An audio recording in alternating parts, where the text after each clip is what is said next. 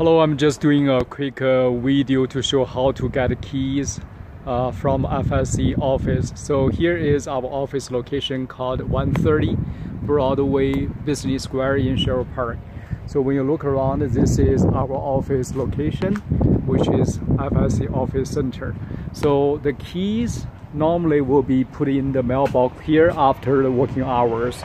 So you will need an access key for the opening of this mailbox. So the mailbox key is actually located at the back of the office, which I'm going to show you very quickly. So you can just simply walk to the back of the uh, FSC office. Uh, so the there is a lock box with uh, the access code will be provided to you uh, in advance. So you can use that access code to open that lockbox where inside the keys are uh, for the mailbox can be found.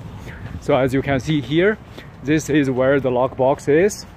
And you can just simply use the code we provide to you.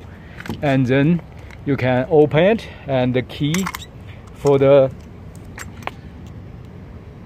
mailbox will be find here. So use this key, open the mailbox front, get your own set of key and put it back and then lock it. That's it. Thank you very much for watching.